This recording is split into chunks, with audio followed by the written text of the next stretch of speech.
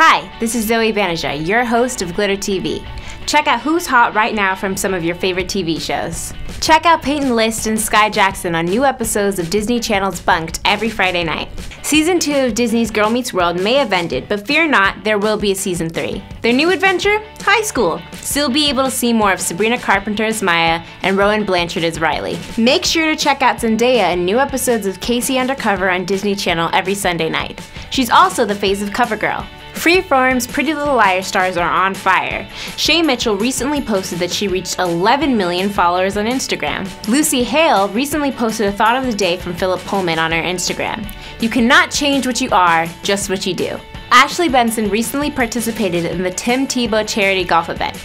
Check out her pics on Instagram. Make sure to check out new episodes of the CW hit show The 100 every Thursday night. The CW renewed The 100 for a fourth season.